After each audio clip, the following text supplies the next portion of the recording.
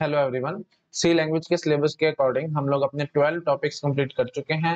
अब हम लोग अपना थर्टींथ टॉपिक देखेंगे दैट इज़ रिकर्शन ओके तो रिकर्शन है हमारा थर्टींथ टॉपिक अगर आपने मेरा सिलेबस का वीडियो नहीं देखा है तो एक बार प्लीज़ सिलेबस का वीडियो देख लेना। सी लैंग्वेज के सिलेबस के वीडियो के अंदर मैंने आपके साथ डिस्कस किया था कौन सा टॉपिक में कब पढ़ाऊँगा। मतलब एक सीक्वेंस आपको पता लग जाएगी। तो उसे वीडियो के अकॉर्डिंग मैं आपको बता रहा हूँ, या यू कैन उसे सिलेबस के अकॉर्डिंग बता रहा हूँ। ट्वेल्व टॉपिक्स हमारे कंप्लीटेड है। थर्टीन टॉपिक अब मैं स्टार्ट कर रहा हूँ दैट इज़ रिकर्शन ठीक है, एक रोड मैप मिल जाएगा आपको कि कौन सा टॉपिक में कब कराऊँगा सी लैंग्वेज के अंदर एक प्रॉपर पिक्चर बन जाएगी, ठीक है? तो उस वीडियो को देख लेना एक बार सिलेबस वाले वीडियो को, ठीक है? चलो स्टार्ट करते हैं भाई। रिकर्शन देखो क्या है। रिकर्शन सबको वैसे थोड़ा थोड़ा आइडिया तो होगा ही self calling function is known as recursion ठीक है? That is inside definition of function same function is called self calling function का मतलब क्या है?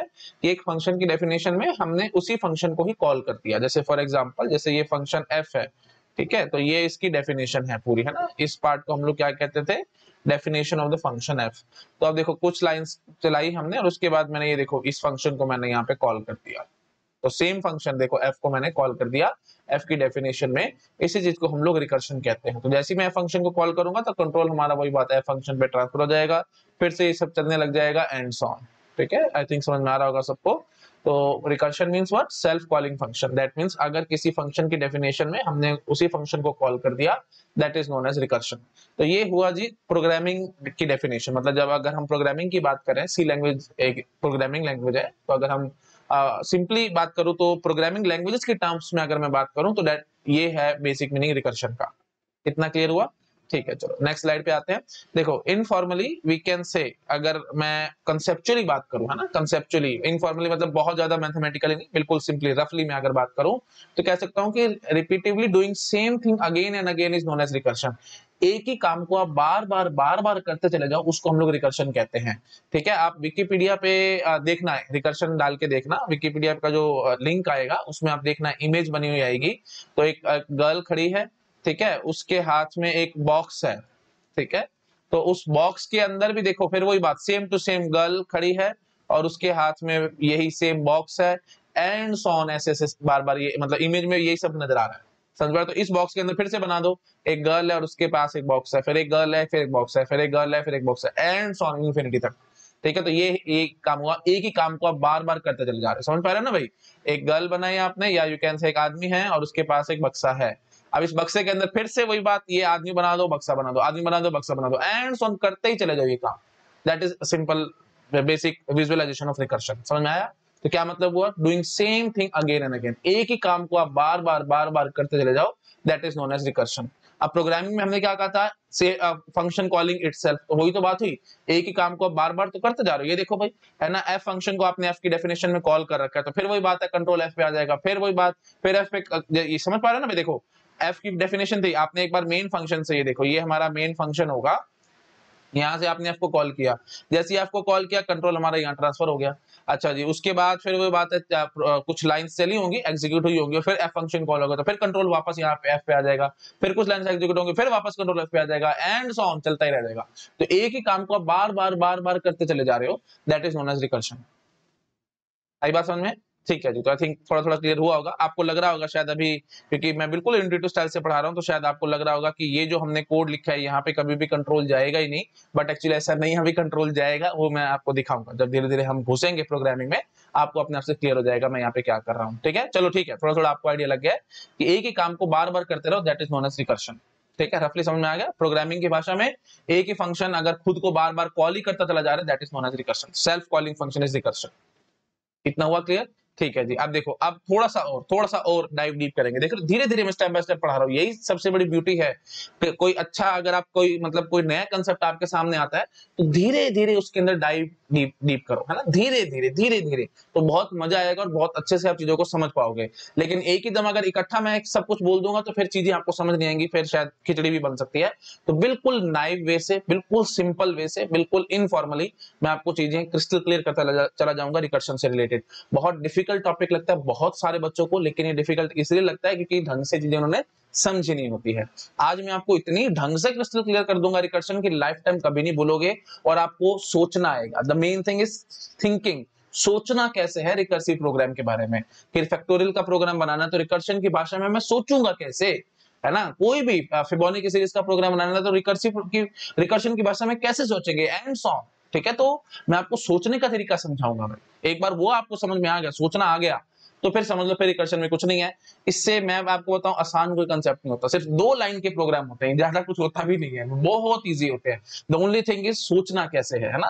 तो कराऊँगा क्लियर अभी ज़्यादा नहीं बोलता, धीरे धीरे कराऊँगा क्लियर ठीक है? तो अब अब देखो, दो दो बार मैंने रिकर्शन समझा दिया। देखो, तीसरी बार एक और अब थोड़ा सा और डाइव इन डीप करूँगा। पहले प्रोग्रामिंग की भाषा में बताई, फिर मैंने आपको कंसेप्चुअली क्लियर किया। अब देखो, और डाइव इन डीप करेंगे। अब देखो, अब मैं क्या बोलूँगा? ये बड़ी इंपॉर्टेंट लाइन है solving bigger problem using smaller problem is known as recursion एक बड़ी प्रॉब्लम को छोटी प्रॉब्लम्स की हेल्प से सॉल्व करना, उसको हम रिकर्शन कहते हैं। बड़ी ब्यूटीफुल पॉइंट है बड़ा ब्यूटीफुल पॉइंट है। जितने स्टार बनाना है, उतने स्टार बनाओ, पर अप्रिशिएट करो। इतना ब्यूटीफुल कंसेप्ट है, जब मैं अभी आपको डाइव इन डीप करके समझाऊँगा तो बहुत मज़ा आएगा। अभी सिर्फ़ समझो कि कोई बड़ी प्रॉब्लम है, उसको सॉल्व करने के लिए हम लोग छोटी प्रॉब्लम्स की हेल्प ले रहे हैं that is known as recursion ठीक है? अच्छा तो और आगे पढ़ो। We know solution of smaller problem and we use this solution to solve the bigger problem ये भी बड़ा अच्छा पॉइंट है। तो मतलब हमारे को छोटी प्रॉब्लम का तो सोल्यूशन पता है, लेकिन और उस छोटी प्रॉब्लम के सॉल्यूशन से बड़ी प्रॉब्लम को सॉल्व करने की कोशिश कर रहे हैं। जैसे सपोज़ करो, आपको ज़ीरो का फैक्टोरियल पता है वन होता है। तो इसी कंसेप्ट से आप पचास का फैक्टोरियल भी निकाल सकते हो, दस का फैक्टोरियल निकाल सकते हो, पाँच का फैक्टोरियल निकाल सकते हो, एक हज़ार का फैक्टोरियल निकाल सकते हो एंड सॉन देखो कितना ब्यूटीफुल बात है। तो छोटी प्रॉब्लम अगर आपको पता, छोटी प्रॉब्लम का सोल्यूशन पता तो छोटी प्रॉब्लम का सोल्यूशन से आप बड़ी प्रॉब्लम का सोल्यूशन निकालने की कोशिश करते हो that is known as recursion ठीक है? तो और इनडायरेक्टली मैं ऐसे भी कह सकता हूँ, सारा कुछ घुमा फिरा करके ना, देखो, एक हमारे पास होगी टर्मिनेशन कंडीशन टर्मिनेशन कंडीशन मतलब जब हमारे को रुकना होता है। तो उसी और यू कैन से बेस कंडीशन जैसे देखो फैक्टोरियल का एग्जांपल लेता तो थोड़ा आपको समझ आएगा। अभी आपको लगेगा कि सारा कुछ हवा में उड़ता चला जा रहा है तो मैं फैक्टोरियल का एग्ज़ाम्पल लेता हूँ। ठीक है? तो स्मॉलर प्रॉब्लम छोटी प्रॉब्लम आपको पता है ज़ीरो फैक्टोरियल हमारे को पता है वन होता है। ये पता है। अब इस कंसेप्ट का यूज़ करके मैं आपको 500 का फैक्टोरियल भी निकाल करके दिखा सकता हूँ। आप बोलो 50 का फैक्टोरियल निकालो, वो निकाल करके दिखा सकता हूँ। पाँच का निकाल के दिखा सकता हूँ। दस का निकाल के दिखा सकता हूँ। एंड सॉन जिस भी नंबर का फैक्टोरियल बोलोगे, मैं वो निकाल करके दिखा दूँगा। है ना मैजिक वाली बात? यही रिकर्शन कहती है, ठीक है? तो एक बस बेस कंडीशन आपको पता होनी चाहिए कि हाँ जी, रुकना कब है, ठीक है? अभी मैं समझाऊँगा, आपको तो क्लियर होगा। तो वही बात है ना, बड़ी प्रॉब्लम को सॉल्व करना है और किसकी हेल्प से सॉल्व करना है? छोटी प्रॉब्लम की हेल्प से। तो बड़ी प्रॉब्लम को धीरे धीरे धीरे धीरे हम छोटी तक लेके आ जाए ठीक है? अभी समझाऊँगा मैं आपको, थोड़ा और क्लियर होगा। ठीक है तो ज़ीरो फैक्टोरियल आपको पता था वन होता है। उसके हिसाब से हम बहुत कुछ बड़े बड़े नंबर्स की फैक्टोरियल निकालने की कोशिश कर सकते हैं। ठीक है तो अब देखो, जैसे मैं कैसे बोलूँगा ज़ीरो फैक्टोरियल वन होता है ना तो अब मैं आपसे ज़ीरो से आगे वन का फैक्टोरियल पूछूँगा। तो वन का फैक्टोरियल क्या होता है भाई? वन इंटू ज़ीरो फैक्टोरियल फिर मैं आपसे पूछ सकता हूँ टू का फैक्टोरियल समझाओ मेरे को तो आप बोलोगे जी टू इंटू वन फैक्टोरियल फिर मैं पूछूँ थ्री फैक्टोरियल क्या होता है जी? आप बोलोगे थ्री इंटू टू फैक्टोरियल फिर फोर फैक्टोरियल मैं आपसे पूछू तो क्या बोलोगे जी? Four into three factorial and so on बात समझ आई?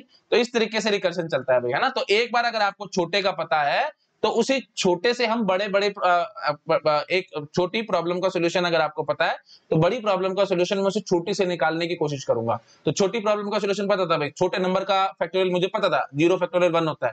तो उसी से ही आप मैं घुमा घुमा करके कोशिश कर रहा हूँ करने की। फिर वन फैक्टोरियल मेरे को पता लग गया अच्छा जी वन इंटू ज़ीरो फैक्टोरियल होता है। फिर टू फैक्टोरियल मुझे पता लग गया अच्छा जी टू इंटू वन फैक्टोरियल होता है। थ्री फैक्टोरियल मुझे पता लग गया जी थ्री इंटू टू फैक्टोरियल होता है एंड सॉन बात समझ में आ रही है? अभी थोड़ा और मोल्ड करूँगा इस चीज़ को। तो मेन बात क्या होता है? इसको हम लोग बोलते हैं जी टर्मिनेशन कंडीशन जो बिल्कुल छोटी वैल्यू तो सबसे स्मॉलेस्ट प्रॉब्लम का सोल्यूशन जो आपको पता होता है, इसको हम लोग बोलते हैं जी टर्मिनेशन कंडीशन ठीक है? टर्मिनेशन कंडीशन थोड़ा टेक्निकल वर्ड में यूज़ कर रहा हूँ। धीरे धीरे और क्लैरिटी लाऊँगा मैं काम में। धीरे धीरे डाइव इन डीप करेंगे। धीरे धीरे बिल्कुल धीरे धीरे ठीक है? हाँ जी तो इसको हम बोलते हैं टर्मिनेशन कंडीशन ठीक है जी? तो अच्छा और उसके बाद फिर आगे आगे हम जो भी बड़ा नंबर का फैक्टोरियल निकालना होगा घुमा फिरा करके आपको यहाँ तक पहुँचना है ठीक है? हर एक नंबर का फैक्टोरियल जो भी नंबर आप, जिस भी नंबर का फैक्टोरियल निकालना चाहते हो, उसको घुमा फिरा करके यहाँ तक आपको लाना है। टर्मिनेशन कंडीशन तक लाना है। जैसे सपोज़ करो, ठीक है? अब थोड़ा सा उल्टे तरीके से मैं समझाता हूँ। सपोज़ करो, मेरे को निकालना है जी थ्री का फैक्टोरियल तो मैं क्या बोलूँगा, मेरे को थ्री का फैक्टोरियल तो नहीं आता, लेकिन मैं इसको ये कह सकता हूँ थ्री इंटू टू फैक्टोरियल ये होता है। तो अगर मेरे को टू फैक्टोरियल पता लग जाए तो मैं थ्री फैक्टोरियल का पता लगा लूँगा फिर मैं बोलूँगा टू फैक्टोरियल तो मुझे नहीं पता, है ना? फिर वही बात है टू फैक्टोरियल निकालने के लिए भागूँगा मैं, कहूँगा टू फैक्टोरियल तो नहीं पता, लेकिन मुझे इतना पता है टू इंटू वन फैक्टोरियल से आंसर निकल आएगा. फिर बोलूँगा अच्छा वन फैक्टोरियल तो मुझे नहीं पता, लेकिन मुझे इतना पता है वन इंटू ज़ीरो फैक्टोरियल करने से मेरा आंसर निकल आएगा, और फिर मेरे को पता लगेगा, जो कि बेस कंडीशन क्या थी ज़ीरो फैक्टोरियल वन होता है तो लो जी one into one into one कितना हो गया जी? वन हो गया, ठीक है? तो one into one is one तो ये वन मैं डिफरेंट कलर यूज़ करके दिखाता हूँ आपको, ठीक है जी? तो ये वन हमारा यहाँ आ जाएगा। तो फिर ये टू इंटू वन ये कितना हो गया जी? टू टू ऊपर चढ़ जाएगा। थ्री इंटू टू क्या हो गया जी? सिक्स। तो हमने ये फाइनली सिक्स आंसर निकाल करके दिखा दिया। तो थ्री फैक्टोरियल सिक्स होता है। एक और निकाल देता हूँ, मुझे कोई दिक्कत नहीं है। ठीक है? एक और निकाल देता हूँ। है ना? तो सपोज़ कर लो मेरे को फाइव फैक्टोरियल निकालना तो मैं क्या बोलूँगा, मेरे को फाइव फैक्टोरियल तो नहीं आता, लेकिन मेरे को फोर इतना पता है फाइव फैक्टोरियल होता है जी फाइव इंटू फोर फैक्टोरियल फिर आप बोलोगे फोर फैक्टोरियल क्या होता है भाई? फिर आप बोलोगे फोर फैक्टोरियल तो नहीं पता, लेकिन मेरे को इतना पता है फोर इंटू थ्री फैक्टोरियल होता है. थ्री फैक्टोरियल क्या होता है जी? Three into two factorial two factorial क्या होता है जी? टू इंटू वन फैक्टोरियल और वन फैक्टोरियल क्या होता है जी? वन इंटू ज़ीरो फैक्टोरियल फिर आप बोलोगे अच्छा जी, मेरे को ज़ीरो फैक्टोरियल पता है जी वन होता है. तो one into one that is one फिर two into one that is two two ये टू ऊपर चढ़ा ना तो three into two that is six ये सिक्स ऊपर चढ़ा तो four six into four that is twenty four ऊपर चढ़ा, ठीक है जी? और फिर ये twenty four into five that is one twenty तो यहाँ से मेरे पास वन ट्वेंटी आंसर निकल आया। देख रहे हो, किसी भी नंबर का आप मेरे को फैक्टोरियल कह रहे हो ना मैं घुमा घुमा करके उसको वापस उसी बेस केस पे ले आता हूँ। बेस कंडीशन या टर्मिनेशन कंडीशन पे ले आता हूँ। दैट इज़ ज़ीरो फैक्टोरियल बस हमने थ्री फैक्टोरियल आपने पूछा था तो मैं उसको घुमा फिरा करके कहाँ पे लेके आ गया जी? ज़ीरो फैक्टोरियल पे लेके आ गया। एंड सो तो हर एक नंबर के लिए मैं यही कहानी करूँगा। थोड़ा थोड़ा रिकर्शन से कैसे काम होता है? ठीक है, अब पढ़ो। अब पढ़ो दोबारा से ये जो मैंने लाइनें लिखी थी, अब आपको देखना कितना मज़ा आएगा। देखो सॉल्विंग बिगर प्रॉब्लम ठीक है, अलग कलर से मैं दिखाता हूँ। Solving bigger problem using smaller problem is called recursion. बड़ी प्रॉब्लम को, छोटी प्रॉब्लम्स को यूज़ करके सॉल्व करने को रिकर्शन कहते हैं। यही चीज़ देखो मैंने अभी आपको दिखाई है। छोटी प्रॉब्लम का सॉल्यूशन पता था? मतलब छोटे नंबर का फैक्टोरियल मुझे पता था।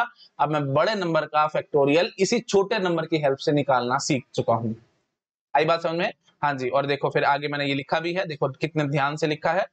वी नो ये देखो we know solution of smaller problem smaller problem का सोल्यूशन मुझे पता है मतलब ज़ीरो फैक्टोरियल वन होता है, ये मुझे पता है and we use this solution to solve the bigger problem और डायरेक्टली इनडायरेक्टली बिगर प्रॉब्लम को छोटा छोटा करते करते मैं इस टर्मिनेशन कंडीशन पे लेके आ जाता हूँ। ये देखो, इसी टर्मिनेशन कंडीशन पे हर एक नंबर को, जिस भी नंबर का फैक्टोरियल निकालना है, उसको घुमा फिरा करके मैं यहाँ तक घसीट के ले आऊँगा। और बस यहाँ तक लाते ही फिर वापस सारा बैग सब्सिट्यूट करके आंसर निकाल के ले आता हूँ। थोड़ा थोड़ा समझ में आया? हमने क्या किया? कुछ little bit little little clear हुआ थोड़ा थोड़ा बिल्कुल बस इतना ही चाहिए मेरे को, बस थोड़ा थोड़ा समझ लो। ज़्यादा इतना अभी हमारे को कुछ नहीं ज़रूरत नहीं है। अभी जब मैं क्वेश्चंस करूँगा ना, धीरे धीरे मैं आपसे क्वेश्चन पूछूँगा। नेक्स्ट नेक्स्ट स्लाइड्स में देखो देखो मैंने हर स्लाइड में कुछ कुछ क्वेश्चन लिखे हुए हैं, ठीक है? तो आप देखना, इन क्वेश्चन से आपको और ज़्यादा क्रिस्टल क्लैरिटी आएगी कि हम काम क्या कर रहे हैं, ठीक है? थोड़ा थोड़ा आइडिया लग गया ना? अब देखो। कुछ कुछ समझ में आ गया? फाइव फैक्टोरियल कैसे निकाल रहा हूँ? थ्री फैक्टोरियल कैसे निकाल रहा हूँ? एंड सॉन्ग अब देखो, अब मैं क्वेश्चन पूछता हूँ पहला क्वेश्चन वेर इज़ रिकर्शन बताओ भाई, यहाँ पे रिकर्शन आपको कहाँ नज़र आ रही है? अब बोलोगे कि, सर रिकर्शन कहाँ है? रिकर्शन ये बैठी है देखो, मैं इसको थोड़ा सा चेंज करता हूँ। अब देखना आप कितनी जल्दी क्रिस्टल क्लियर तरीके से आप पकड़ोगे बातों को। मैं ऐसे बोलूँगा, जी फाइव फैक्टोरियल है ना तो हमारे पास फ़ंक्शन जो है, आप सी लैंग्वेज में मैं घुस रहा हूँ। ये तो कंसेप्चुअली हो गया सी लैंग्वेज में घुस रहा हूँ। अब बोल रहा हूँ फाइव फैक्टोरियल है तो मैं ऐसे बोलूँगा, अब किसी का फैक्टोरियल निकाले तो फैक्ट फ़ंक्शन ले लेते हैं। तो मैं बोलूँगा जी फैक्ट ऑफ़ फाइव तो फैक्ट ऑफ़ फाइव क्या करेगा जी? मैं बोलूँगा फैक्ट ऑफ़ फाइव तो मुझे नहीं पता क्या होता है। मैं बोलूँगा five into fact of four ठीक है? फिर मैं बोलूँगा फैक्ट ऑफ़ फोर क्या होता है जी? आप बोलोगे कि सर मुझे फैक्ट ऑफ़ फोर भी नहीं पता। मैं कहूँगा, कोई बात नहीं। हम इसको बोल देंगे four into fact of three फिर हम बोलेंगे फैक्ट ऑफ़ थ्री क्या होता है जी? तो आप बोलोगे three into fact of two फिर आप बोलोगे फैक्ट ऑफ़ टू क्या होता है जी? Two into fact of one और फैक्ट ऑफ़ वन क्या होता है जी? One into fact of zero fact of zero मुझे पता होगा। फैक्ट ऑफ़ ज़ीरो जो कि हमारी बेस कंडीशन थी दैट वाज वन तो one into one that is one ठीक है? तो वन यहाँ पे रिटर्न होगा। बैक सब्सिट्यूट करेंगे हम, ठीक है? फिर two into one that is two two इधर कॉपी होगा। फिर three into two that is six six इधर कॉपी होगा। Six into four that is twenty four इधर होगा। और twenty four into five that is one twenty one twenty इधर return होगा। थोड़ा समझ में आया? देखो सेल्फ कॉलिंग फ़ंक्शन वाली कहानी कैसे हुई? ये देखो भाई फैक्ट ऑफ़ फाइव ने किसको कॉल कर दिया? फैक्ट ऑफ़ फाइव की डेफिनेशन में लिखूँगा। मैंने पूरा प्रोग्राम नहीं लिखा। मैं सिर्फ़ आपको कंसेप्ट समझा रहा हूँ कि रिकर्शन कहाँ नज़र आ रही थी। ये जो आपने बना करके खड़ा कर दिया था, ये तो न्यूमेरिकल था मतलब मैथमेटिक्स वाली बात थी। तो रिकर्शन कहाँ नज़र आ रही है? वो प्रोग्रामिंग की भाषा में सेल्फ कॉलिंग फ़ंक्शन वाली कहानी कहाँ है? तो वो मैंने आपको यहाँ शो करी है तो मैं क्या बोलूँगा? फैक्ट ऑफ़ फाइव ये एक यू कैन से फ़ंक्शन होगा। तो उस फ़ंक्शन की डेफिनेशन में आपने फैक्ट ऑफ़ फोर को कॉल किया होगा। फिर फैक्ट ऑफ़ फोर ने आगे फैक्ट ऑफ़ थ्री को कॉल किया होगा फैक्ट ऑफ़ थ्री ने फैक्ट ऑफ़ टू को कॉल किया होगा फैक्ट ऑफ़ टू ने फैक्ट ऑफ़ वन को फैक्ट ऑफ़ वन ने फैक्ट ऑफ़ ज़ीरो कर दिया जैसे फैक्ट ऑफ़ ज़ीरो कॉल हुआ होगा उसने रिटर्न कर दिया होगा वन एंड सो ऑन फिर वापस बैक सब्सिट्यूट करते करते वन ट्वेंटी आंसर निकाला होगा थोड़ा थोड़ा और क्लियर हुआ तो रिकर्शन कहाँ है आई थिंक वो अब आपको समझ में आ गया कि where exactly is the recursion here तो यहाँ पे ये तो न्यूमेरिकल नज़र आ गया था तो रिकर्शन ये चल रही है तो फैक्ट ऑफ़ फाइव की डेफिनेशन में आपने फैक्ट ऑफ़ फोर को कॉल किया होगा ये थोड़ा थोड़ा समझ में आ रहा है कि नहीं आ रहा? ये देखो। और और इमेजिन कराता हूँ मैं आपको, मुझे कोई दिक्कत नहीं है। थोड़ा अलग कलर लू, थोड़ा और अच्छा लगेगा आपको। ये देखो, मैं ऐसे बोलूँगा जी, फैक्ट ऑफ़ फाइव की डेफिनेशन में आपने फैक्ट ऑफ़ फोर कॉल किया होगा। फिर फैक्ट ऑफ़ फोर की डेफिनेशन में आपने फैक्ट ऑफ़ थ्री कॉल किया होगा, एंड सॉन ठीक है? तो अब वही बात है। ठीक है, अभी ज़्यादा नहीं मैं बोलता, थोड़ा थोड़ा थोड़ा आपको और समझ में आ गया कि हम इस तरीके से कॉल कर रहे होंगे चीज़ों को। लिटिल बिट आइडिया क्लियर चलो, अब मैं थोड़ा सा और आगे बढ़ने की कोशिश करता हूँ। ठीक है जी तो वेर इज़ रिकर्शन ये आपको क्लियर हो गया question next is till when you do recursive calls recursive calls कब तक करते रहोगे? जब तक आप टर्मिनेशन कंडीशन तक ना पहुँच जाओ। तो ये रही हमारी termination condition fact of zero ठीक है? तो जैसे ही हमारी टर्मिनेशन कंडीशन रीच हो जाएगी, हम रिकर्सिव कॉल्स करना बंद कर देंगे। क्योंकि देखो अपनी तो ऐसे चलता रहता मैं। फैक्ट ऑफ़ ज़ीरो के लिए फिर मैं बोलता कि zero into fact of minus one एक कम हो रहा है ना भाई? फिर वो बात है फैक्ट ऑफ़ माइनस वन तो होता नहीं। माइनस वन का फैक्टोरियल सब डिफाइन नहीं होता एंड सॉ तो फिर वही बात है, वो फिर बकवास हो जाएगा काम। तो ऐसे तो इनफाइनेट लूप में फंस जाओगे ना भाई? तो इसलिए इनफाइनेट लूप में ना फंसो, इसलिए आपको टर्मिनेशन कंडीशन देनी पड़ती है। बात समझ में आ रही है? मैं एक बार और बोल देता हूँ, मुझे कोई दिक्कत नहीं है। फैक्ट ऑफ़ ज़ीरो के लिए अगर आप नहीं देते तो आप ऐसे फिर शुरू कर देते। फैक्ट ऑफ़ ज़ीरो के लिए आप क्या बोलते हैं? Zero into fact of minus one zero into fact of minus one फिर आप शुरू हो जाते फैक्ट ऑफ़ माइनस वन क्या होगा भाई? Minus one into fact of minus two and on ये सारा बकवास है। इसे क्यों करना है भाई? तो फैक्ट ऑफ़ ज़ीरो आपको पता है वन होता है तो वहीं से हम वैल्यू पुट कर करके बैक सब्सिट्यूट कर करके ऊपर तक पहुँचते चले जा रहे हैं। बात समझ आ रही है? ठीक है जी तो ये सब नहीं करना भाई, ठीक है? प्लीज़ ध्यान रखना, ये सब तो मैंने सिंपली समझाने के लिए बोला, ये सब नहीं करना। तो इसलिए हम क्या कहते हैं कब स्टॉप करना है? जब हमारी टर्मिनेशन कंडीशन रीच हो जाएगी। चलो ठीक है, आगे बढ़ते हैं अब हम लोग। तो व्हेन तो तो till when you do recursive call till termination condition is reached ठीक है? तो till termination condition is reached लिख देता हूँ मैं, वैसे लिखने की ज़रूरत नहीं, आप समझ चुके हो बट स्टिल मैं लिख रहा हूँ। Till termination condition is reached termination condition is reached जैसे टर्मिनेशन कंडीशन रीच होगी हम रुक जाएँगे वहीं पे। ठीक है, आगे देखो भाई ऑर्डर ऑफ़ कॉलिंग किस ऑर्डर में आपने फ़ंक्शंस को कॉल किया है? जरा एक बार ये समझाना। आराम से देख के मेरे को समझाओ। फाइव ने फोर को कॉल करा। फोर ने थ्री को थ्री ने टू को टू ने वन को वन को वन को ज़ीरो ने कॉल मतलब टू ने वन को कॉल किया वन ने ज़ीरो को कॉल किया। ज़ीरो का हमारे को पता था, फिर हमने ऐसे बैक सब्सिट्यूट किया था। तो ऑर्डर ऑफ़ कॉलिंग कैसे है भाई? ठीक है ऑर्डर ऑफ़ कॉलिंग कैसे है? तो मैं यहाँ लिखता हूँ, देखो, आपने क्या किया है? अलग पेन से लिखो, थोड़ा अच्छा लगेगा आपको। हाँ जी तो सबसे पहले फैक्ट ऑफ़ फाइव आपने कॉल किया होगा मेन फ़ंक्शन से। फैक्ट ऑफ़ फाइव ने आगे किसको कॉल करा? फैक्ट ऑफ़ फोर को। फैक्ट ऑफ़ फोर ने आगे किसको कॉल करा? फैक्ट ऑफ़ थ्री को। फिर फैक्ट ऑफ़ थ्री ने आगे किसको कॉल करा? फैक्ट ऑफ़ टू को। और उससे, उसके बाद फिर फैक्ट ऑफ़ वन को। और फिर फाइनली आपने कॉल किया है जी फैक्ट ऑफ़ ज़ीरो को। फैक्ट ऑफ़ ज़ीरो आपको पता था एंड सॉन्ग ठीक है? तो आपको समझना है किस तरीके से आपने फ़ंक्शंस को कॉल किया। तो ऑर्डर ऑफ़ कॉलिंग भाई ऐसे है। पाँच ने चार को, चार ने तीन को, तीन ने दो को, दो ने एक को एक को एक ने ज़ीरो को। किस तरह से हमारा ऑर्डर आया कॉलिंग का? कंप्लीशन ऑर्डर कैसे है? फ़ंक्शन जो आपने कॉल किए, उनकी एग्जीक्यूशन कंप्लीशन कैसे हुई है भाई? आप बोलोगे कि zero factor fact of zero तो ऑलरेडी कंप्लीटेड ही है। क्यों कंप्लीटेड है? क्योंकि उसकी वैल्यू हमारे को पता है वन होती है। तो हम वन रिटर्न करवा लेंगे। ठीक है जी तो सबसे पहले ये function you can say complete हुआ है।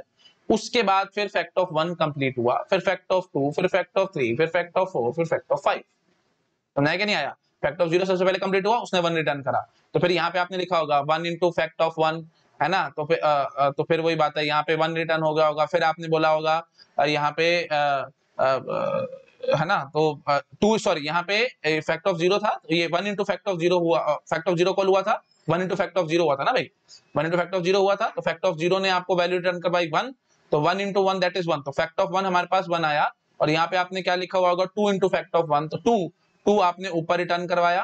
ठीक है जी? टू रिटर्न हुआ तो फिर यहाँ पे आपने क्या बोला होगा? थ्री इंटू है ना? Three into fact of two था ना? ये अभी आप, देखो मैंने आपको पीछे दिखाया है। कंफ्यूज होने की कोई ज़रूरत नहीं है। Three into fact of two four into fact of three यही सब हमने लिखा होता ना? तो वही सब मैं यहाँ कर रहा हूँ। तो three into fact of two है ना? तो फिर ये सिक्स ऊपर रिटर्न करेगा।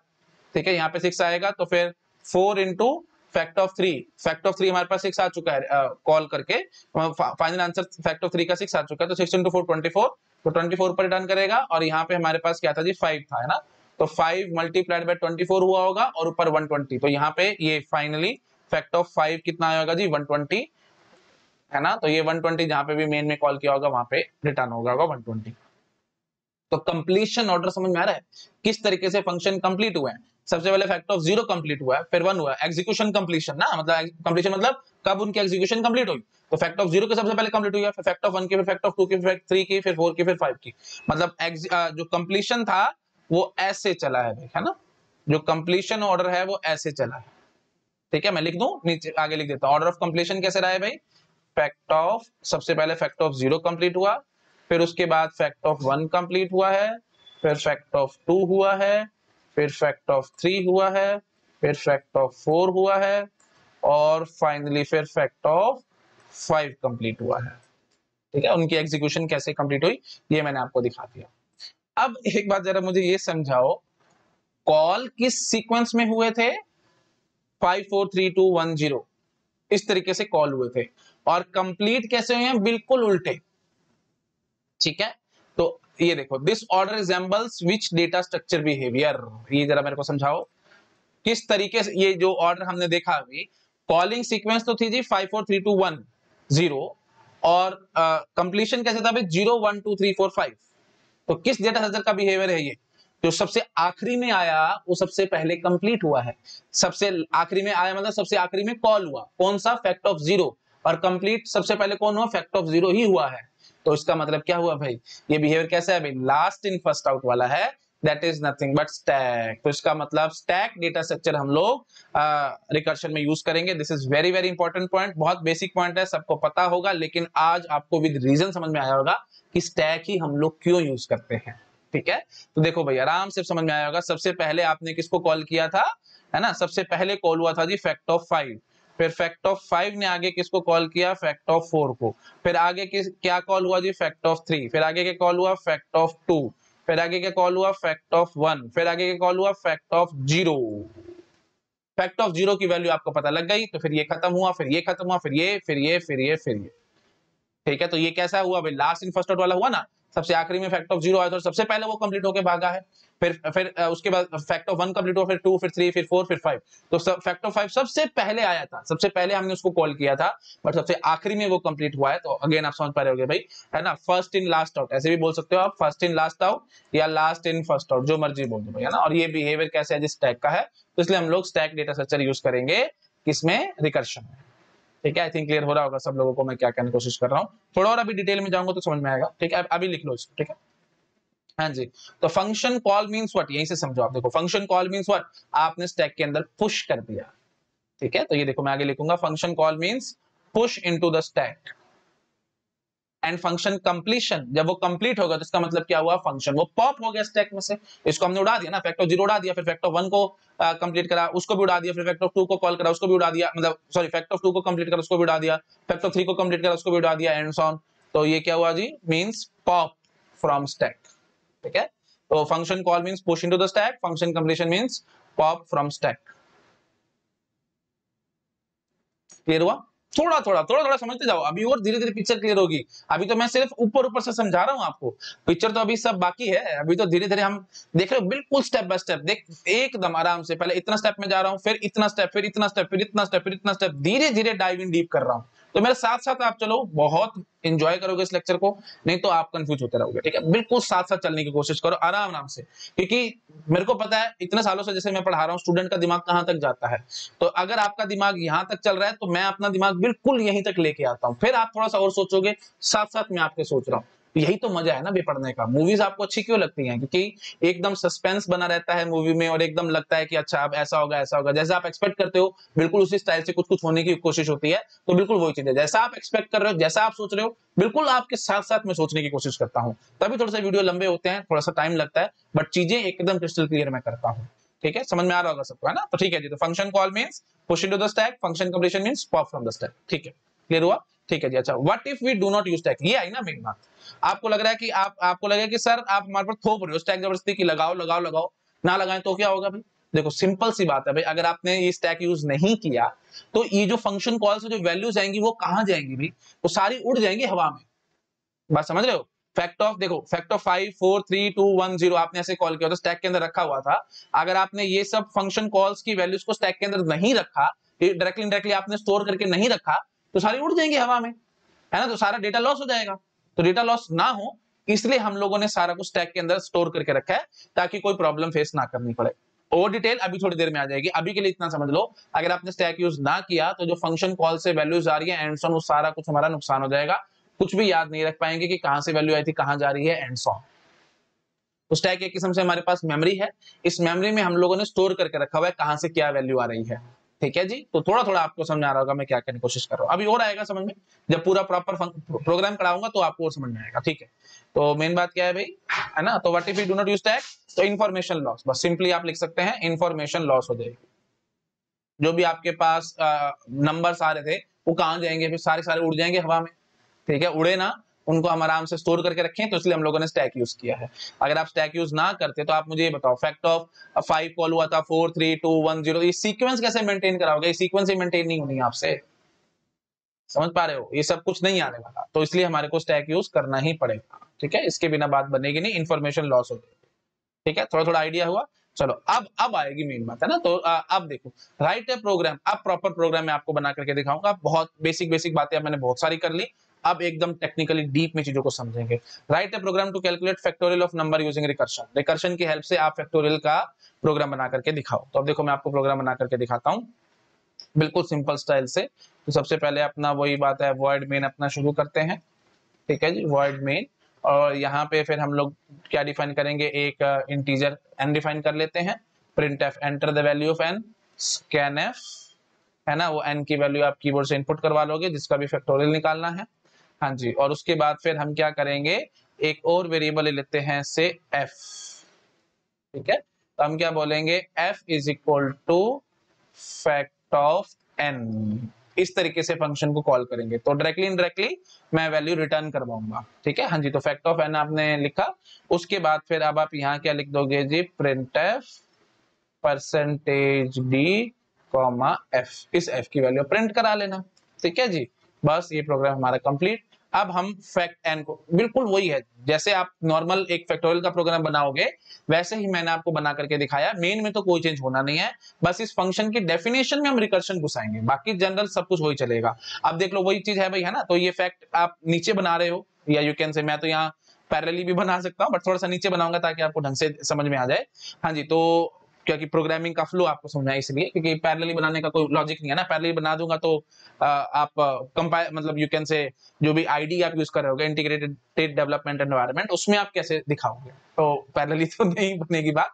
तो नीचे मैं दिखाऊँगा थोड़ा सा कंसेप्चुअली क्लियर रखने के लिए चीज़ों को। ठीक है जी तो अब वही बात है मेन फ़ंक्शन में आपने इस फैक्ट को कॉल कर दिया है। और वही बात जैसे मैं आपको मैसेज में था प्रोटोटाइपिंग करनी पड़ेगी क्योंकि आप कॉल पहले कर रहे हो डिफाइन बाद में कर रहे हो। तो प्रोटोटाइपिंग बिल्कुल वैसे ही, जैसे आप नॉर्मली करते हो तो फैक्ट एफ़ इंटीजर है ना?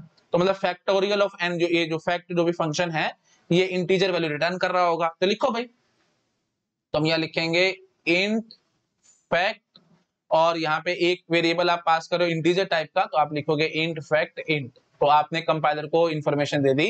कि फैक्ट नाम का फ़ंक्शन है, जिसको मैं पहले यूज़ कर रहा हूँ और बाद में उसको डिफाइन कर रहा हूँ और उसके अंदर एक इंटीजर आर्गुमेंट है और उसकी रिटर्न टाइप इंट है। बस, ये चीज़ वही बात है प्रोटोटाइपिंग होगी। सेम टू सेम प्रोटोटाइपिंग कोई नई कंसेप्ट नहीं है यहाँ तक। अभी तक मैंने कुछ नया आपको समझाया ही नहीं है। अब जब मैं प्रोग्राम बनाऊँगा, यहाँ आपको अब समझ में आनी चाहिए बातें। ठीक है जी तो अब मैं क्या बोलूँगा, वही अपनी नॉर्मल ये जैसे इंट फैक्ट इंट एन ठीक है? अब प्लीज़ ये बात ध्यान रखना भाई, है ना? तो ये जो आपने फैक्ट ऑफ़ एन ये लिखा है, ये एक्चुअल आर्ग्यूमेंट है और ये फॉर्मल आर्गुमेंट है। ये मत बोल देना एन और एन सेम हो गया, यार, इससे कोई फ़र्क नहीं पड़ता भाई। इसकी अलग मेमोरी बनेगी और इसकी अलग मेमोरी बनेगी, ठीक है? इसमें कंफ्यूज मत होना। बेसिक सा पॉइंट है। तो मैं बस इतना कहना चाहता हूँ, ये जो एन है, ये मेन का एन है, ठीक है? और ये जो आप, ये जो फैक्ट फ़ंक्शन जब आप कॉल करो तो इसका एन अपना अलग होगा, ठीक है? तो दोनों अलग अलग एन है भाई, उसमें कोई टेंशन वाली बात नहीं है। तो आप समझ पा रहे हो आई थिंक है ना? तो ये इस एन की वैल्यू इस एन में कॉपी हो जाएगी। ठीक है जी। अगर आपको कंफ्यूजन है तो आप एन वन ले लो। मेरे को कोई प्रॉब्लम नहीं है। बट थोड़ा सा इजी रखने के लिए मैं ऐसे लिख रहा हूँ। ठीक है? फिर बार बार एन वन एन वन लिखना पड़ेगा, वो मेरे को अच्छा नहीं लगेगा। ठीक है जी? तो इंट फैक्ट इंट एन ठीक है जी। उसके बाद फिर अंदर आकर के देखो, अब अब देखो आपको करना क्या सोचना कैसे द मेन थिंग इज़ कि जो अभी आपने रिकर्शन पढ़ा है उसको मैं इंप्लीमेंटेशन कैसे दूँगा? देखो सिंपल बात इतनी याद रखनी है। जो भी आप आप यू कैन से प्रोग्राम बनाओगे रिकर्शन की हेल्प से, उसमें सिर्फ़ दो ही चीज़ें होंगी। एक तो होगी जी टर्मिनेशन कंडीशन मैं अब आपको एक बार दिखा देता हूँ, ठीक है? तो रादर इधर दिखाने की बजाय मैंने एक चीज़ आगे लिखी है तो वो मैं आपको दिखा देता हूँ, ठीक है? हाँ जी तो देखो भाई, है ना? तो ये ये देखो, कैसे करना है ना? How to think of a recursive program सोचना कैसे है? देखो सिंपल बात। मैंने अभी आपको समझाया रिकर्शन एग्जैक्टली क्या है भाई? रिकर्शन है जी doing same thing again and again एक ही काम को बार बार करो, वही रिकर्शन होता है। तो try to think that what should be done again and again कि मेरी प्रॉब्लम सॉल्व हो जाए। देखो मैंने आगे ये लिखा है। So try to think that what should be done again and again in order to solve the problem ठीक है? एंड सबसे मेन बात व्हेन टू स्टॉप रुकना कब है? ये आपको पता होना चाहिए। बात समझ आई? तो रिकर्शन क्या होता है भाई? एक ही काम को बार बार करते रहो। तो क्या काम मैं बार बार करूँ कि मेरी प्रॉब्लम सॉल्व हो जाए। इस तरीके से सोचना है आपको। अच्छा और ये चीज़ समझ में आ गई, क्या काम करूँ बार बार कि मेरी प्रॉब्लम सॉल्व हो जाए? रुकना कब है? ये भी तो पता होना चाहिए। बार बार करते जाओगे तो इन्फाइनेट लूप में फंस जाओगे भाई। वो काम नहीं करना है ना। तो रुकना कब है? ये भी पता होना चाहिए। इसलिए मैंने लिखा है वेन टू स्टॉप तो इसका मतलब क्या होगा? हर एक रिकर्सिव प्रोग्राम के अंदर दो टुकड़े होंगे, दो पार्ट्स होंगे। पहला टुकड़ा या पहला पार्ट होगा टर्मिनेशन कंडीशन जो बताएगा कब रुकना है। दूसरा होगा जी रिकर्सिव कॉल जो बताएगा कब काम करते रहना है वेन टू कंटिन्यू है ना? बार बार काम सेम कब तक करते रहना है दैट इज़ रिकर्सिव कॉल और टर्मिनेशन कंडीशन कब रुकना है। दो टुकड़े होंगे हमेशा हर एक रिकर्सिव प्रोग्राम के। अब एक बात ये भी ध्यान रखनी है, पहला टुकड़ा कौन सा होगा? टर्मिनेशन कंडीशन देख लो, इसलिए मैंने फ़र्स्ट ये लिखा है। और दूसरा होगा जो रिकर्सिव कॉल तो रफली मैं ये कह सकता हूँ स्टॉप कंटिन्यू स्टॉप कंटिन्यू दो ही चीज़ें होती हैं हमारे पास रिकर्सिव प्रोग्राम के अंदर। पहला पार्ट होता है स्टॉप दूसरा होता है कंटिन्यू देखो मैंने लिखा भी है रफली वी कैन से देखो, नीचे मैंने लिखा है रफली we can say every recursive program has two parts that is stop and continue कब स्टॉप करना है, कब कंटिन्यू करना है? बस ये चीज़ हमारे को समझानी है, और ये बात ध्यान रखनी है, पहला पार्ट हमेशा मस्ट बी स्टॉप पहला पार्ट हमेशा स्टॉप होना चाहिए कंटिन्यू नहीं होना चाहिए। ठीक है? क्योंकि जैसे ही आपने प्रोग्राम को स्टार्ट किया, आपके दिमाग में पहला क्वेश्चन आना चाहिए, रुक जाऊँ क्या? या कंटिन्यू करूँ? रुकूं या कंटिन्यू करूँ? तो पहले रुकने वाली बात आनी चाहिए, ताकि हम रुक सके। अगर आपने पहला ही पार्ट कंटिन्यू डाल दिया तो फिर वही बात है, आपने जैसे ही प्रोग्राम स्टार्ट किया, जैसे फ़ंक्शन पे कंट्रोल आया कंटिन्यू कंटिन्यू कंटिन्यू वो करता ही रह जाएगा।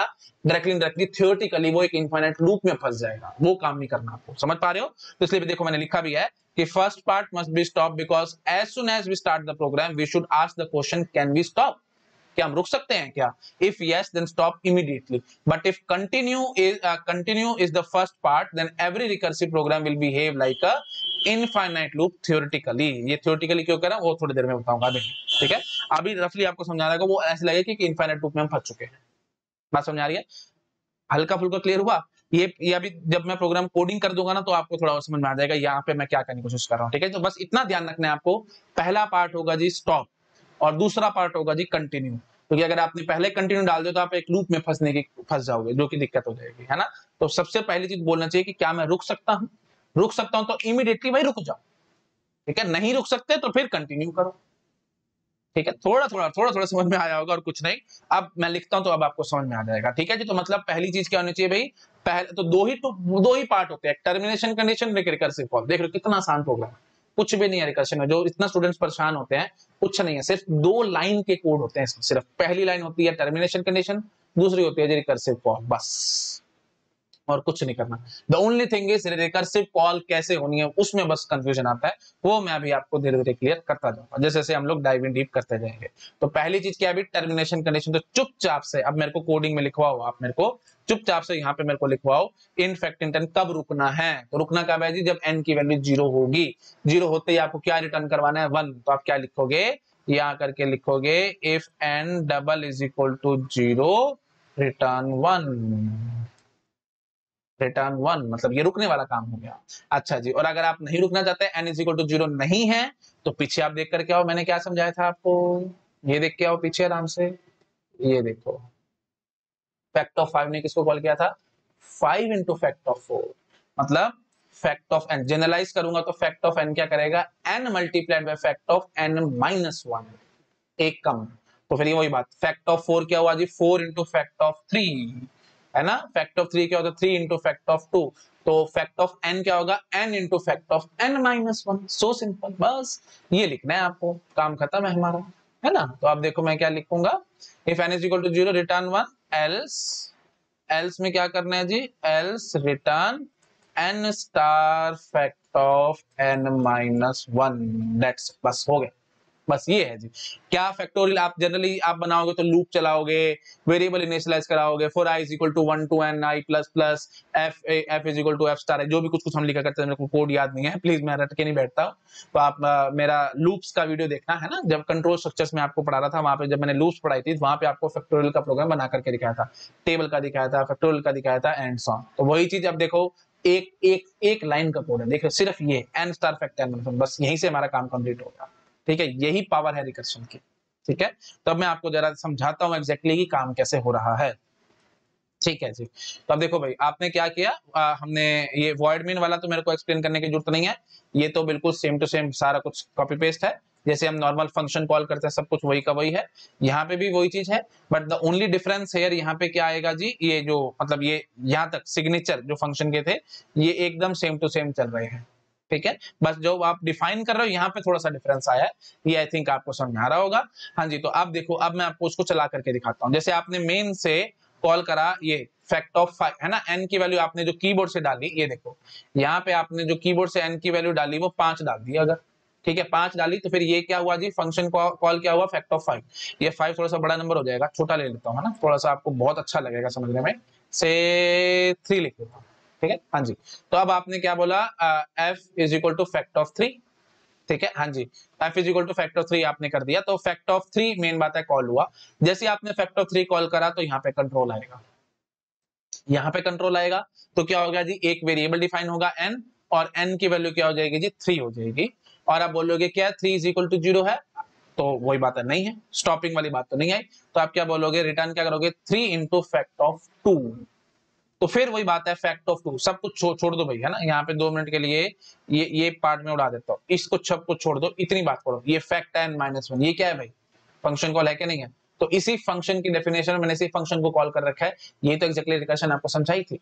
तो बस इसी तरह से चलता रहेगा। तो मैं आपको चला करके दिखाता हूँ तो थोड़ा आपको और मज़ा आएगा। देखो भाई तो सबसे पहले आपने क्या किया? ठीक है फैक्ट ऑफ़ एन ये यहाँ से थ्री हुआ था।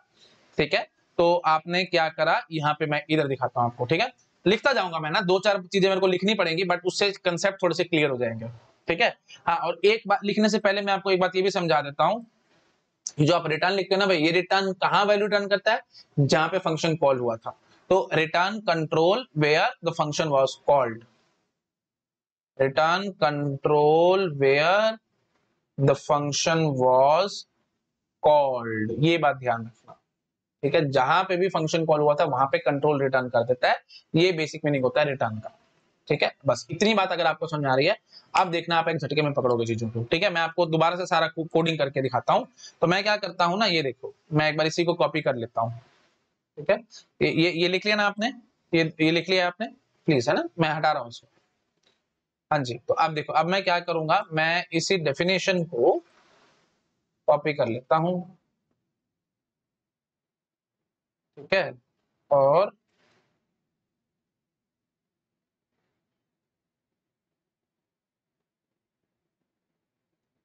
दो मिनट लगेंगे, है ना? मैं एक बार यहाँ पे ये कॉपी करके रखूँगा ना तो काम थोड़ा सा हमारे लिए आसान हो जाएगा। समझने में हमारे को बहुत आसानी हो जाएगी। ठीक है जी?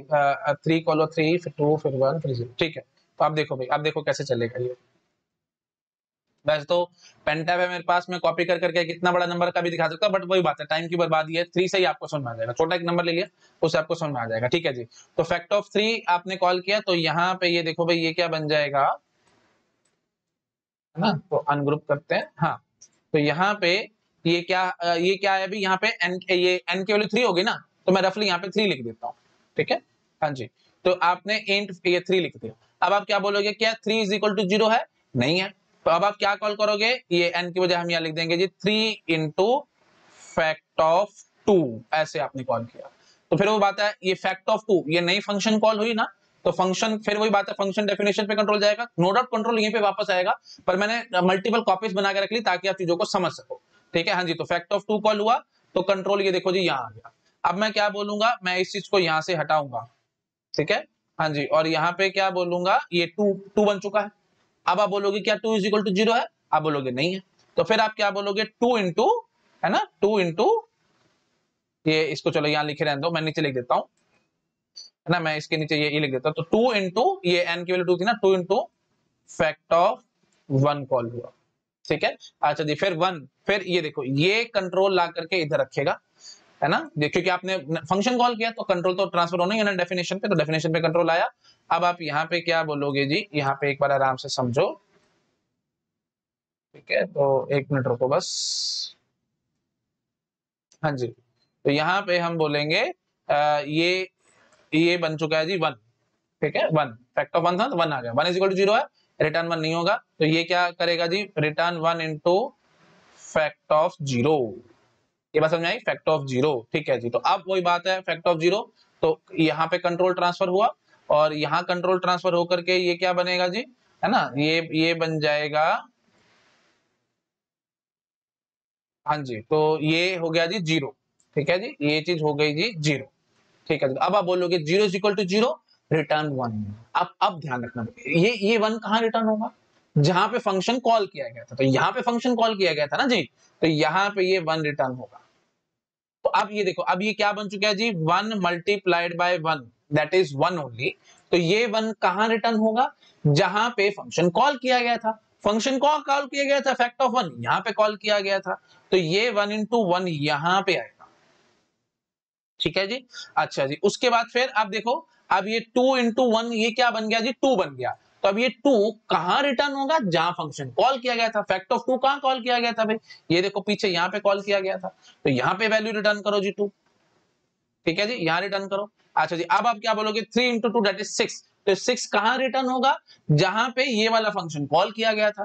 कहाँ कॉल किया गया था? यहाँ पे। तो यहाँ रिटर्न होगा जी। तो ये ये जो होगा, ये three into two that is six ये सिक्स रिटर्न हो जाएगा जी यहाँ पे। और एफ़ के अंदर वैल्यू क्या आ जाएगी? छह। और जब आप प्रिंट एफ़ कराओगे तो आंसर छह प्रिंट हो जाएगा। आया थोड़ा थोड़ा समझ में? तो रिटर्न स्टेटमेंट हमेशा कहाँ रिटर्न करती है? जहाँ पे फ़ंक्शन कॉल किया गया होगा। ये देखो, मैंने छोटा कर दिया है। आप आराम से सारा कुछ नोट डाउन कर सकते हो। जैसे मैंने आपको चला करके देखा ये पूरा कंट्रोल फ्लो पूरा फ़र्स्ट क्लास कंट्रोल फ्लो इतना खोल के कोई नहीं समझाएगा भाई। मैं आपको पूरा डिटेल में अच्छे से कंट्रोल फ्लो समझा रहा हूँ कि कैसे एग्जैक्टली चल रहा है। ये समझ आया अच्छा जी, अब ये जो कंट्रोल फ्लो है ना, ये पॉसिबल कैसे हो पाया है? ये पॉसिबल हो पाया स्टैक की हेल्प से। मतलब ये तो थियोरटिकली हो गया। अब ये एग्जैक्ट इंप्लीमेंट कैसे हुआ ये एग्जैक्ट इंप्लीमेंट हुआ स्टैक की हेल्प से। तो मैं आपको स्टैक बना करके दिखाता हूँ। अब देखना आपको कितना ब्यूटीफुल और कितना अच्छा लगेगा और कितना मज़ा भी आएगा समझने में। ठीक है जी? तो अब देखो, यहाँ से जैसे आपने ये देखो। तो एक बात आपको याद रखनी है, मैं आपको यहाँ पे समझा देता हूँ। जैसे ही आप फ़ंक्शन कॉल करते हो ना, उसका एक एक्टिवेशन रिकॉर्ड बन जाता है स्टैक के अंदर। ठीक है? तो ये मैं नोट करके पॉइंट लिखता हूँ, फिर मैं आपको समझाता हूँ। ठीक है? तो नोट देखो भाई क्या है? नोट नोट है,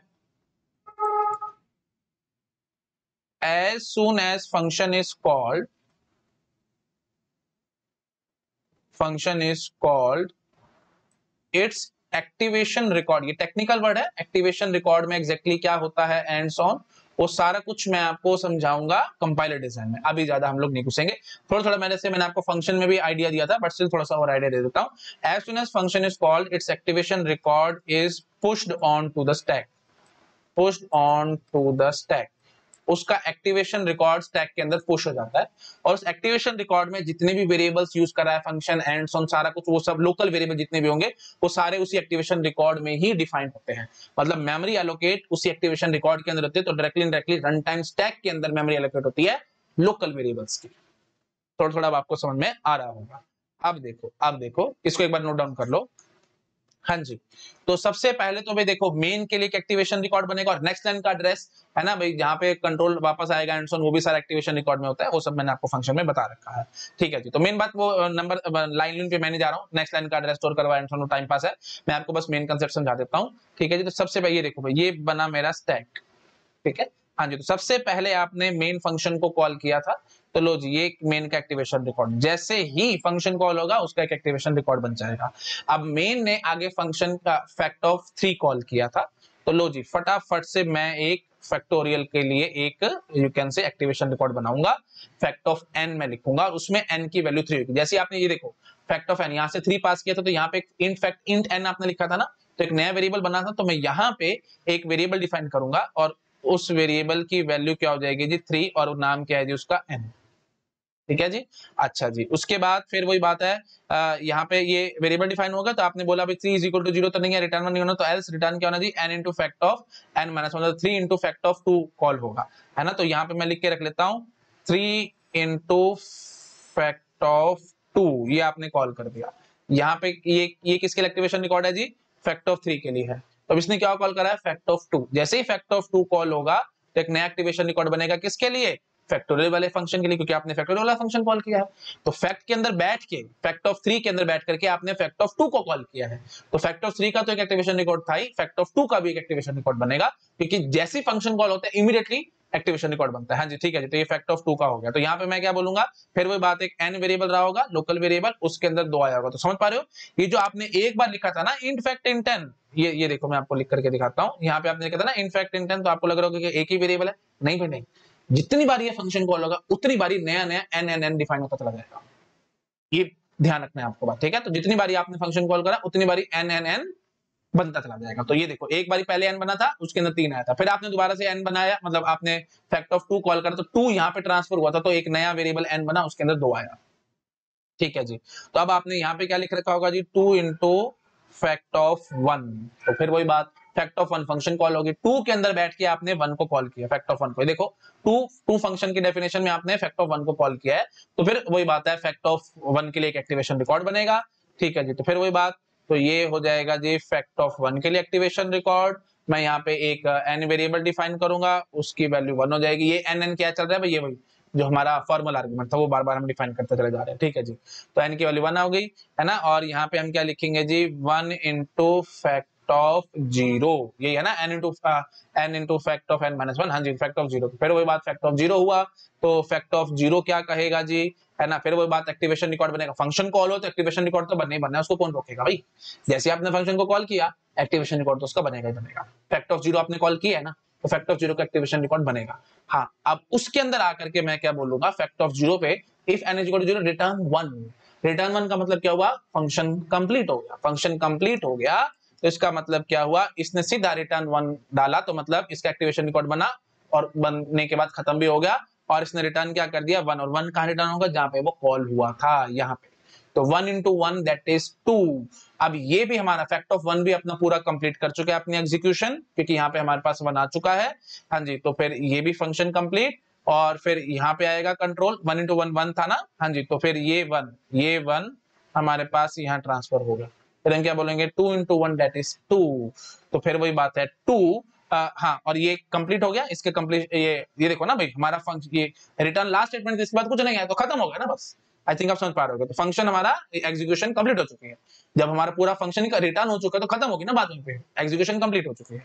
ठीक है तो एग्जीक्यूशन कंप्लीट तो यहाँ से क्या रिटर्न हुआ जी? ये, इसने टू भेजा, है ना? तो टू यहाँ पे रिटर्न हुआ और एक्टिवेशन रिकॉर्ड इसका पॉप ऑफ़ हो गया। जैसे ही कंप्लीशन हुआ कंप्लीशन मतलब पॉप कॉल मतलब पुश कंप्लीशन मतलब पॉप ये ध्यान रखना आपको, ठीक है जी? तो टू तो three into two that is six ठीक है जी? हाँ जी तो अब सिक्स हुआ, ये भी हमारा कंप्लीट हो गया। यहाँ से आपने सिक्स भेज दिया और मेन में हमारा कंट्रोल ट्रांसफ़र हो गया। मेन में जो भी आपने लाइन लाइन नंबर होगी, वो एक्टिव वो हमारे पास स्टोर होगी। तो उसको मारोगे मेन बात क्या है? सिक्स आ गया। एफ़ की वैल्यू सिक्स आ चुकी है तो प्रिंट परसेंटेज करा करके हम सिक्स वैल्यू प्रिंट करा लेंगे। ठीक है? तो आई थिंक समझ में आ गया होगा सबको मैं क्या कहने की कोशिश कर रहा हूँ। तो इस तरीके से देख रहे हो, ये ये तो हो गया जी एक्चुअली जैसे ये चल रहा था, ठीक है? तो मतलब कोडिंग मैंने आपको बार बार दिखाया कि ये ऐसे कॉल हुआ, ये ऐसे कॉल हुआ, ये ऐसे कॉल हुआ एंड सो ऑन और ये हो गया एक्चुअल स्टैक की हेल्प से कि हम एग्जैक्टली exactly काम क्या कर रहे थे। थोड़ा थोड़ा हुआ क्लियर ठीक है? धीरे धीरे धीरे धीरे हम डाइव इन डीप करते जा रहे हैं और कुछ नहीं कर रहे हैं। ठीक है जी? तो आई थिंक कंसेप्ट क्लियर हो गया होगा सब लोगों को, है ना? तो this is all about recursion थोड़ा थोड़ा आपको आइडिया लग गया होगा कैसे सोचना है, कैसे बनाना है एंड सोन कुछ कुछ आइडिया लग गया है। इतने रखूँगा मैं, क्योंकि अभी मैं और ज़्यादा घुसूँगा तो फिर शायद आप लोग कंफ्यूज ना हो जाओ। ये देखो, मैंने कुछ इंपॉर्टेंट पॉइंट्स लिखे हैं समरी में। तो ये समरी भी मैं आपको नेक्स्ट लेक्चर में ही समझाऊँगा। ठीक है समरी समझाऊँगा और ये चीज़ तो मैंने आपको समझा ही दिया है। और फिर कुछ कुछ क्वेश्चन और करते जाएँगे। जैसे एन मल्टीप्लाइड बाय एम कैसे निकालना है रिकर्शन से? एन पावर एम कैसे निकालना है? N number of Fibonacci series कैसे निकालना है? एंड सो ये सब देखेंगे। और उसके बाद फिर हम लोग आउटपुट निकालना सीखेंगे। ये बड़े इंपॉर्टेंट है ना? इसमें बहुत क्वेश्चन आते हैं गेट एग्ज़ाम में कि आउटपुट बताओ। ये रिकर्सिव कोडिंग दे देंगे आपको कोड बना करके दे देंगे और आपसे पूछेंगे, इसका आउटपुट बताओ। बड़ा मुश्किल लगता है बच्चों को, लेकिन मैं इसको इतना आसान बना करके दिखाऊँगा कि आपको मज़ा आ जाएगा। ठीक है? तो ये तो बिल्कुल बेसिक लेक्चर था। इसमें मैंने आपको बिल्कुल रिकर्शन का हल्का फुल्का आइडिया दिया है और एक फैक्टोरियल का आपको बना करके दिखा दिया है प्रोग्राम अब नेक्स्ट लेक्चर में आकर के पहले मैं ये समरी पढ़ूँगा आपके लिए। ये जो मैंने पॉइंट्स लिखे हैं, ये सबको मैं अच्छे से आपके लिए रीड करूँगा। ठीक है जी? और उसके बाद फिर हम लोग कुछ एक दो प्रोग्राम्स और बनाएँगे ताकि थोड़ा सा आपका माइंड वाइड ओपन अप हो सके। आपको समझ में आए कि सोचना कैसे है रिकर्शन की भाषा में। कोई भी प्रोग्राम है रिकर्शन से मैं उसको कैसे सोचूँगा, कैसे बनाऊँगा एंड सो वो थोड़ा और अच्छे से प्रैक्टिस से आएगा तो वो मैं आपको नेक्स्ट लेक्चर में कवर कराऊँगा। ठीक है जी? चलिए, ठीक है जी। Okay thank you so much bye आप इसको आराम से नोट डाउन कर सकते हैं चीज़ों को। ठीक है।